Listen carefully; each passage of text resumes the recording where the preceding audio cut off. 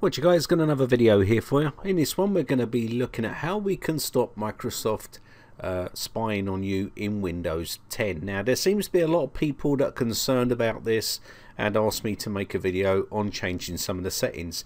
Now maybe some of these people have said that they didn't use the uh, uh, custom settings, they used the express settings. Is there a way to make changes to these once Windows 10 is installed? Well, there is changes you can make once you're at the desktop and I'll show you how to quickly make those changes yourself. It's pretty straightforward anyway. So what we're going to do here is take a look at some of the settings. Now, all you need to do here is come down to the little uh, button here and click on settings.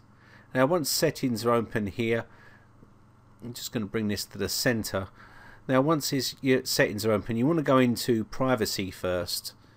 Open up privacy and as you can see there's an array of uh, buttons that are turned on and there's quite a lot of them so this may concern you a little bit and you may want to turn those off. Now you can check uh, what all these uh, mean uh, by looking on Microsoft's website. Hopefully I will put the uh, link in the description that links you to all this information and you can either decide to turn them on or turn them off now, a lot of people are suggesting turn everything off, uh, and it's entirely up to you whether you want to do that.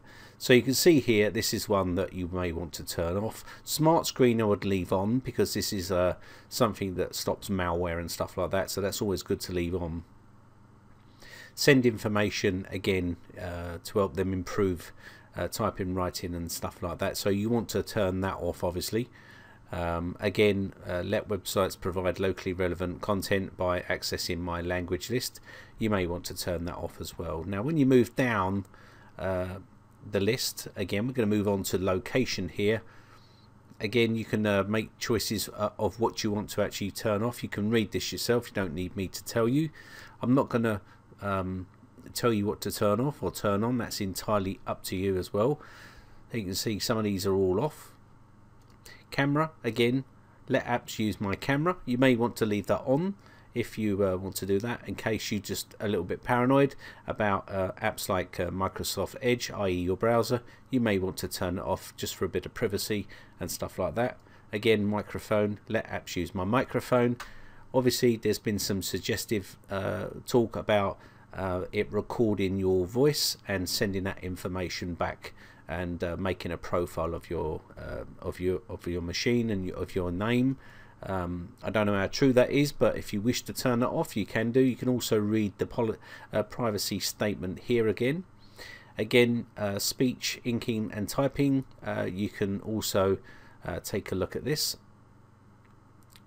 and you want to maybe stop getting to know me, and you want to turn this off so this is getting to know you basically, it's, it's, uh, as you can see here, uh, Cortana and stuff like that.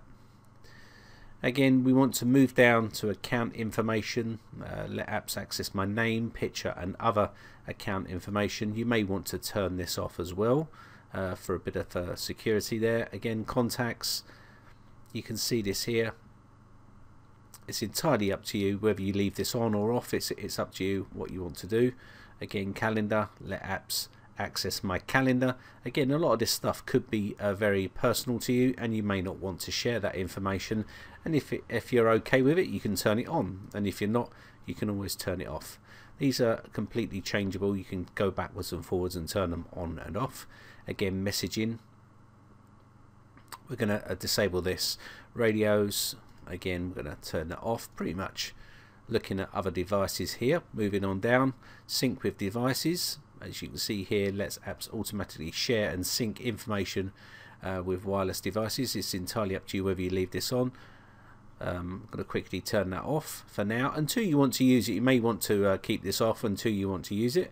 And then you can uh, or you can choose apps that you want to sync with. That might be a good idea. Is leave that on and then choose what you want. It's entirely up to you okay again feedback. Now um, you can see here automatically it's going to send feedback um, frequently back to uh, Microsoft as you can see here and you can put never in here. And also diagnostic and usage data. Again this is an option that controls the amount of Windows diagnostic and usage data sent to Microsoft from your device um, now again you can't disable this here but there is a couple of uh, things you can do which we can cover in another video which is going into the uh, group policy and also registry. Um, but uh, basic is as low as you can go. I think enterprise allows you to disable this completely uh, but on this um, pro version you can only go to basic. Again background apps we're going to move this on down. Again calendar stuff like that. You can choose what you want to do here as well. It's entirely up to you. I'm just going to leave these as is for now. So that's those taken care of. Uh, we're going to go back here now. Again um, there's other areas that you may want to address and uh, and stuff like that. So you can look at your accounts here. Go for your account so you can see I'm on a local account here. Um, but if you're on signed up to Microsoft as well it's going to share a lot of that stuff. Um, but we're running on a local account here which isn't a problem again uh, what I'm going to do here sync and settings this is all now been turned off as you can see. Pretty straightforward stuff. Um, let's see here. There's a couple of other areas.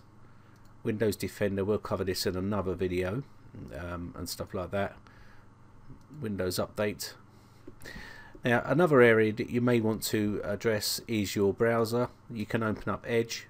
Uh, it's not cool so we're going to open up Edge here and go into these three little buttons or dots here.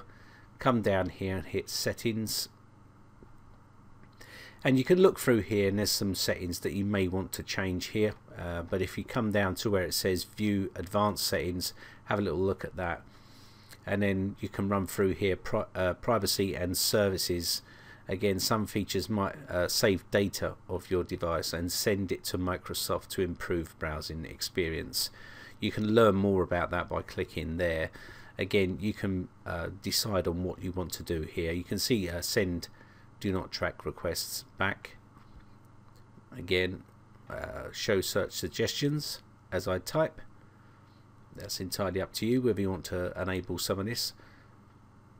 Uh, use page prediction to speed up browsing. Uh, you may want to uh, turn that off. Uh, it's entirely up to you whether you leave it on there as well uh, smart screens on there and stuff like that. So you can go through some of these settings yourself and decide on what you want to keep. Now again there's some other stuff that you can disable but they're the main core bits uh, that you can uh, disable. So we're going to come down to the start button here and then right click and go run and type in there gpedit.msc just like that there. Click OK. Now if you haven't got the local group policy editor then don't worry. I'll quickly show you uh, the registry key for that. But as you can see here if you have got the pro version or higher then you can use the group policy editor. We're going to come into where it says computer configuration and then go down to where it says administrative uh, templates open that up and then you should see something saying all settings. Click on that and then just pull this down here. And we want to come down to where it says uh, let's see here. There we go allow uh, telemetry. Uh, you can see here you can read this up but if you want to disable this you can do and if you can you can read some uh, information here um, that collects data but pretty much um, you can disable this if you want. This is going a bit more deeper into it but you just double click on this if you wish to do that and then you can enable uh, that like so and then save that okay? And that will then disable that um, diagnostic uh, data that's sent back okay I'm just going to leave that as and I'll show you how you can uh, change it in the registry quickly. So I'm going to go into run again and type regedit just like so and then open up the registry editor. Say yes to the uh, user account control. And once you've got that done you want to go to where it says HKey local machine. And you want to go into software here Microsoft like so. Pull that open a little bit there you want to come down to where it says Windows?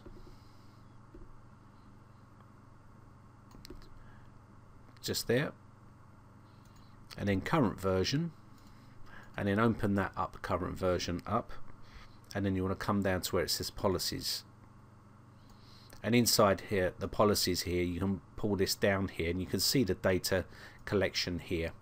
Okay click on that. And on the right hand pane here you should say allow uh, telemetry click on that and you should see a 1 in there and that's because it's enabled. But if you want to disable that in the registry you can also do that by clicking uh, on 0 there like so. And that's that one done. Okay so let's just take a look at Cortana. You may want to disable that. So you just click on the button here again.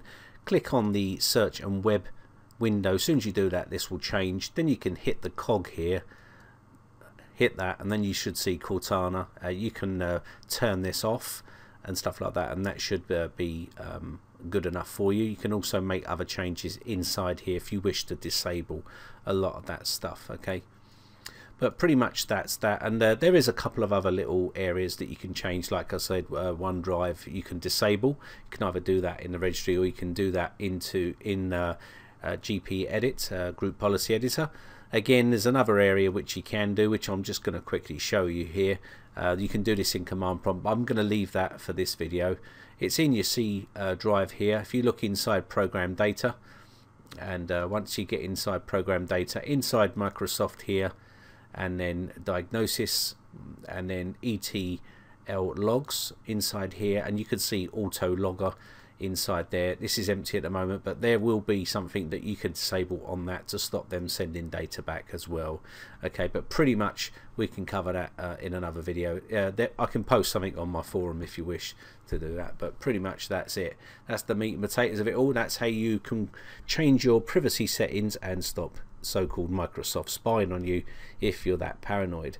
Anyway, so we're going to wrap this one up. My name is Brian from briteccomputers.co.uk. If you enjoy these videos, guys, then hit the like button. It really does help me out. And also hit the subscribe button if you want to keep up to date and be notified when I upload new videos. If you've got any problems with your computers or you got any questions or any video requests you want me to do or you got any software that you if you're a company got any software that you want me to do a review with you can always hook up and hit me up on uh, my forums or you can join my Facebook fan page and join up over there message me over there and I'll do my best to do those videos for you okay? So anyway, thanks again for watching guys. Thanks for your continued support and I shall see you again in the next video. Bye for now